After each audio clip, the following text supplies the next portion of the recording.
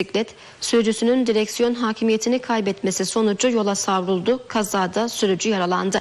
Edinilen bilgilere göre bugün saat 12 sularında Süleyman Demirel Bulvarı üzerinde seyir halinde olan elektrikli bisiklet sürücüsünün direksiyon hakimiyetini kaybetmesi sonucu yola savruldu. Kazada elektrikli bisiklet sürücüsü yaralandı.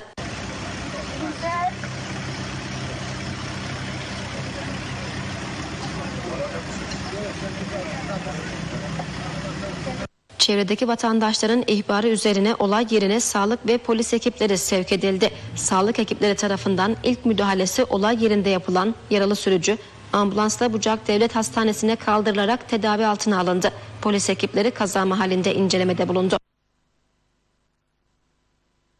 Sevgili izleyenler 6 Şubat'ta meydana gelen depremin ardından Burdur'da Kredi ve Yurtlar Kurumu yurtlarında misafir edilen Hataylı depremzedeler Hatay mutfağından örnekler sundu. 6 Şubat'ta meydana gelen Kahramanmaraş merkezli depremlerden sonra Burdur Mehmet Akif Ersoy Üniversitesi İstiklal Yerleşkesi'nde bulunan KYK yurtlarında misafir edilen 6 depremzede kadın Hatay mutfağından yemekler hazırladı. Allah zaten çıktı mı? Biz gidiyoruz bugün ne?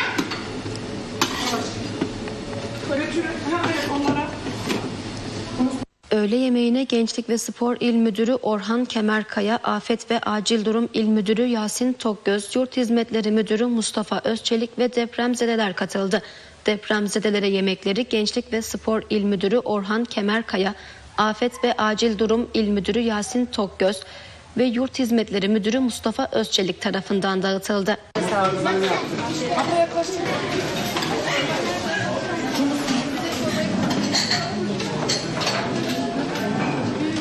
Yemeği hazırlayan depremzede Tunay Sürücü, depremden bu yana Burdur'dayız. 5 aydan beri kendi mutfağımızdan yemekler özledik. Bugün kendi mutfağımıza ait yemeklerimizi tattırmak istedik. Memleketimizi çok özledik dedi. Tunay Sürücü, Hatay mutfağına özgü tepsi eti, kaytaz böreği, külçe, cevizli biber, humus ve künefe hazırladıklarını aktardı.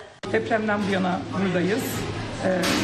5 aydan beri kendi mutfağımızın yemeklerini özlediğimiz için bugün kendi e, mutfakla, mutfağımıza ait olan yemeklerimizi tattırmak istedik.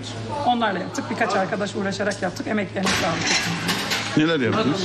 Tepsi eti, kaytaz böreği, külçe, cevizli biber, humus.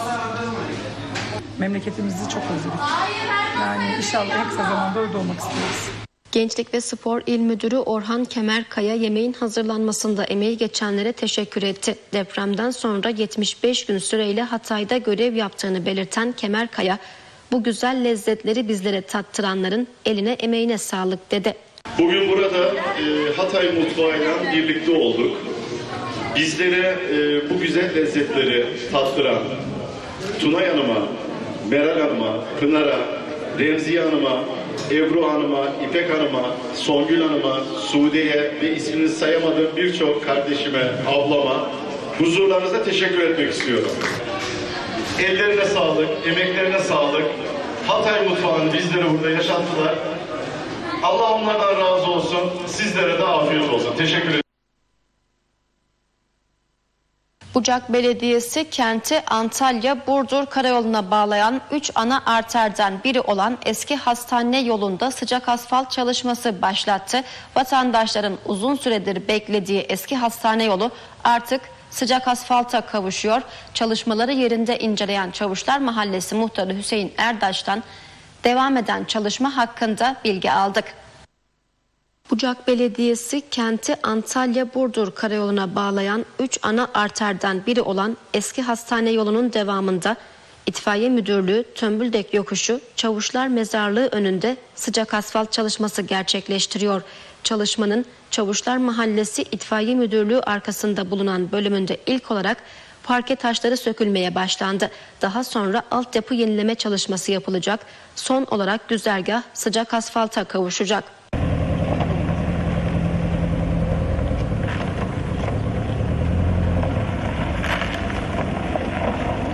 Çalışmaları yerinde takip eden Çavuşlar Mahallesi muhtarı Hüseyin Erdaş, şehrin üç önemli ana arterinden biri olan eski hastane yolu güzergahının Çavuşlar Mahallesi kısmında Bucak Belediyesi tarafından başlatılan sıcak asfalt çalışması hakkında Kanal 15 mikrofonuna konuştu. Burası e, Çavuşlar Mahallesi Tepecik Caddesi olarak geçiyor. E, Burada biz e, 2019 yerel seçimlerinde muhtar olmadan e, bize buranın talepleri vardı vatandaşların. E, Yolun çok bozuk olduğu şekliyle e, buranın sıcak asfaltı olması için talepleri vardı. Biz de bunu belediye başkanımızı başkanımızla paylaştık. Vatandaşın başkanın böyle bir isteği var. E, Burayı sıcak asfalta kavuşturalım. Ee, o da vatandaşımızın ve bizim taleplerini kırmadılar. İnşallah pazartesi e, burada kamuoyuyla paylaşıldı. Çarşamba gün parke sökümüne başlandı. İnşallah e, buranın e, su drenajları yapılacak. Su hatları değişecek, abonelikleri değişecek. Ondan sonra inşallah e, güzel bir şekilde e, sıcak asfalta burayı kavuşturacağız. Çavuşlar Mahallesi muhtarı Hüseyin Erdaş, çalışma kapsamında ilk olarak parke sökümü yapıldığını, daha sonra altyapı çalışması yapılacağını, çalışmanın son olarak sıcak asfaltla taçlanacağını ifade etti. Mahalle sakinlerinden bu dönemde anlayış beklediklerini aktaran muhtar Hüseyin Erdaş, çalışmada emeği geçen belediye başkanı Emrullah Ünal ve tüm belediye personeline teşekkür etti. Sökülen parke taşlarının geri dönüşüm olarak kullanılacağını bildirdi. Parkelerimiz sökülüyor. Ee, sağlam olanları tekrar paletleniyor. Başka yerlerde kullanılmak için. Ee, inşallah e, dediğim gibi sıcak asfalta kavuşturacağız. Burası e, çok çalışan bir e, yolumuz. E, Burdur Karayolu'na bağlayan bir yolumuz. E, hemen hemen Bucak'ın üçüncü çok çalışan bir e, caddelerinden birisi. E, İnşallah çok güzel olacak. Ee, buradan belediye başkanıma, başkan yardımcıma, e, tüm belediye çalışanlarına, emeği geçen herkese mahallem ve şahsım adıma çok teşekkür ediyorum. Burada tabii ki e, uzun bir süre bir çalışmamız olacak. E, süresini bilemiyorum ama e, parke sökümü, e, su hatlarının değişimi, drenaj çalışmaları sebebiyle uzun bir çalışmamız olacak. Buradan da vatandaşlarımızdan e, tabii toz olabilir, e, uzun süre bir bekleyebilir. Onun için onlardan da anlayış bekliyoruz. E, onlara da teşekkür ediyorum. Küçük çaplı bir mağduriyet yaşayacağız. E, sonuçta güzel bir hizmet geliyor, büyük bir yatırım geliyor. E, onun için e, buradaki e, güzergahtaki veya e, başka mahalle sakinlerimizin burada bizlerden bizlere anlayış göstermelerini bekliyoruz. Onlara çok teşekkür ediyorum. Ee, buradan tekrar belediye başkanıma e, gerçekten mahallemiz e, bu konuda çok memnun olacaklar. Ee, çok e, teşekkür ederim tekrar.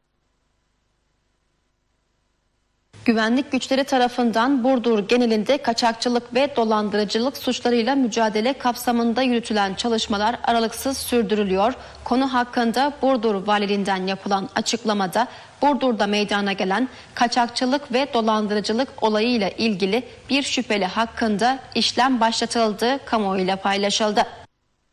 Güvenlik güçleri tarafından il genelinde kaçakçılığın önlenmesi, kaçakçılık yapan ve sosyal medya üzerinden nitelikli dolandırıcılık yapan şahısların yakalanmasına yönelik yapılan çalışmalara kararlılıkla devam ediliyor.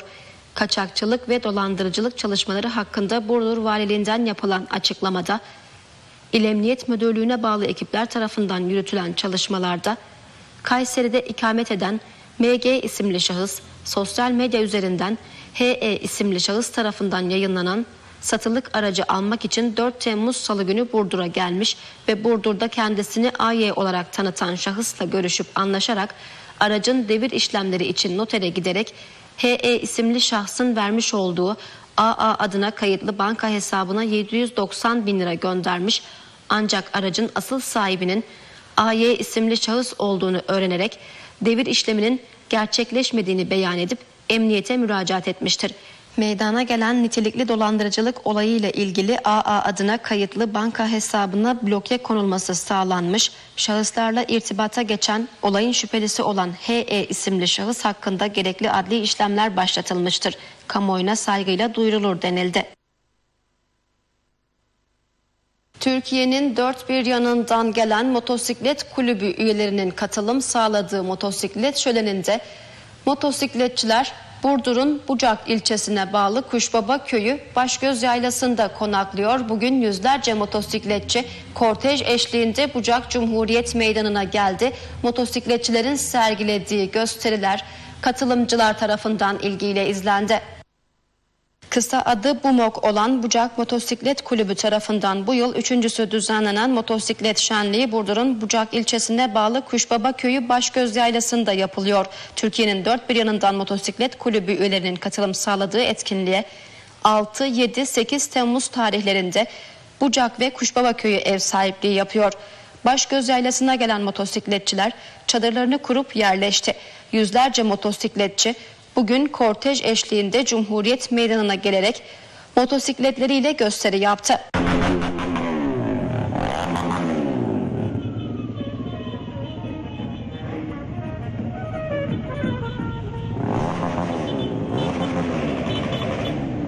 BUMOK tarafından düzenlenen motosiklet şöleni kapsamında saat 16'da Cumhuriyet Meydanı'nda gösteri yapan motosikletçilerin sergilediği performans vatandaşlar tarafından ilgiyle izlendi.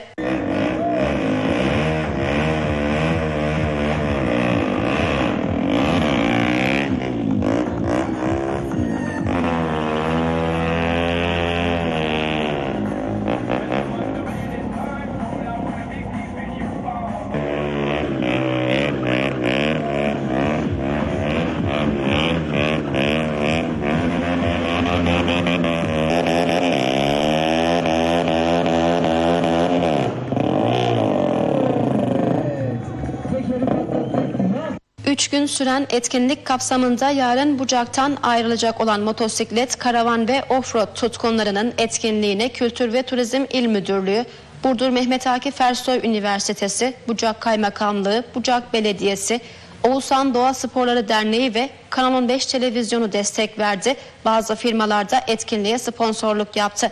Bucak ilçesi ve Kuşbaba köyü 3 gün boyunca motosiklet tutkunlarının renkli, eğlence ve etkinliklerine ev sahipliği yapıyor.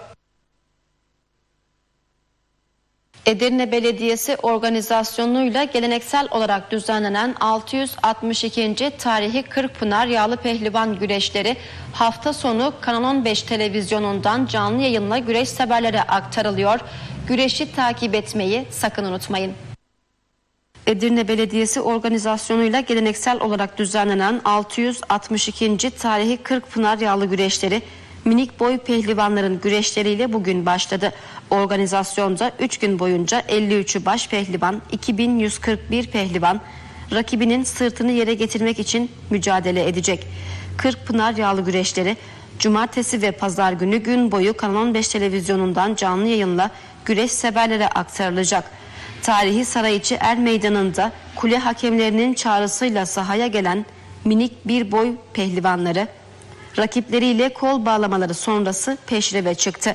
Sarayiçi Er Meydanı'nda düzenlenen 662. tarihi Kırkpınar yağlı güreşlerinde bu yıl minik bir boyda 128, minik iki boyda 151, teşvik bir boyda 139, teşvik iki boyda 150, toz koparan boyda 172, ayak boyda 192, deste küçük boyda 195, deste orta boyda 169, deste büyük boyda 155, küçük orta küçük boyda 319, küçük orta büyük boyda 106, büyük orta boyda 119, baş altı boyunda 93 güreşçi, baş boyunda ise 53 baş pehlivan mücadele edecek.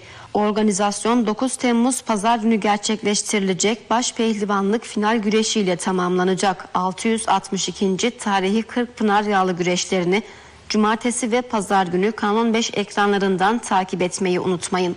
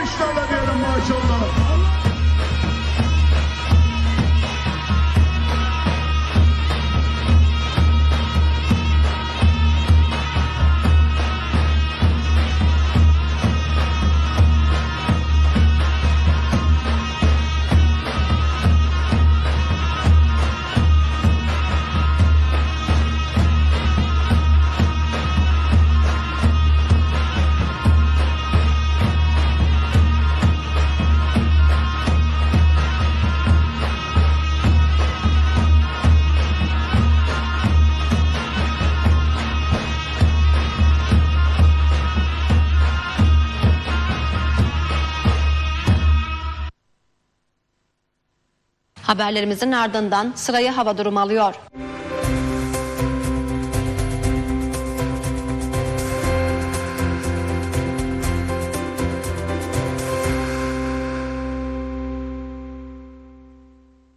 Meteoroloji Bölge Müdürlüğü'nden alınan bilgilere göre Burdur ve çevresinde bugün hava parçalı bulutlu geçti. Bazı merkezlerimizde bugün ölçülen en yüksek hava sıcaklıkları Burdur ve Bucak 31, Gölhisar 30, Tefenli 28, Yeşilova ve Ağlasun 29 derece.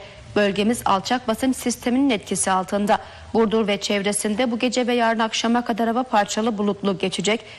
Rüzgar kuzey yönlerden orta gece saatlerinde yer yer kuvvetlice esecek. Hava sıcaklıkları gündüz sıcaklıkları 1 ila 3 derece arasında azalacak. Merkezlerimizde beklenen gecenin en düşük ve yarın günün en yüksek sıcaklıklarına gelince Burdur 15-28, Ağlasun 13-28, Çeltikçi 14-28, Bucak 17-30, Yeşilova 12-26, Karamanlı 12-25, Kemer 14-26, Tefenli 12-27, Gölhisar 10-28, Çavdır 15-28, Altınyayla 12-26 derece. Çevre illerimizde beklenen gecenin en düşük ve yarın günün en yüksek sıcaklıkları ise Isparta 16-28, Antalya 27-38, Denizli 18-30, Uşak 13-24, Afyonkarahisar 16-22, İzmir 21-31, Kütahya 14-19, Muğla 16-27 derece.